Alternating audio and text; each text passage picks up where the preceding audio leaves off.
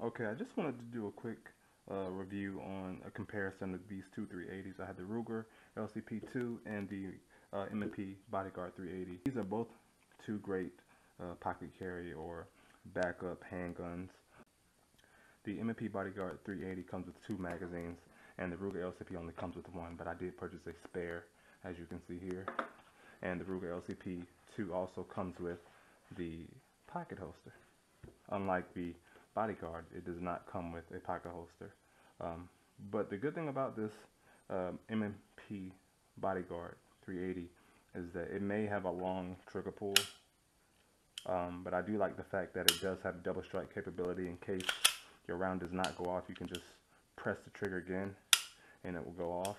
Not, not only that, but I'm not really good at long trigger pulls, but the fact that it does have this Crimson Trace laser will help me assist with uh, shooting better with this long trigger here compared to the Ruger's uh, hammer fired trigger as well, but it's it feels like a striker fired trigger and it's very short. So uh, both of these are two great options. Uh, a size comparison here. So they're almost, well, exactly, they look about the same height see the bodyguard.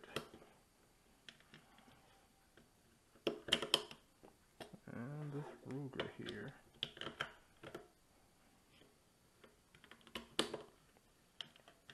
So with the magazines inside of both of these, they are about the same size. Uh, of course, uh, the M&P Bodyguard has a uh, little extension, just a slight extension, you know, if you have trouble uh, fitting your hands on the firearm properly. Um, so it does give you a little bit more space uh, to grip the firearm. The LCP2 is a bit thicker than the Bodyguard, but the M&P Bodyguard, it does have uh, actual sights that are not milled into the slot, so these are replaceable. Um, so that is an option for you as well. Uh, let's see here, what else am I missing? I really don't think I'm missing too much.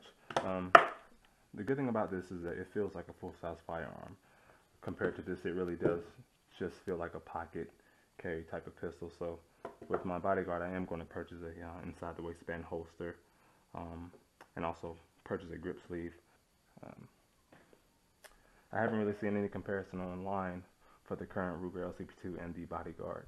Um, but these are two great 380s that anybody should purchase. Uh, if you have any questions, feel free to reach out to me.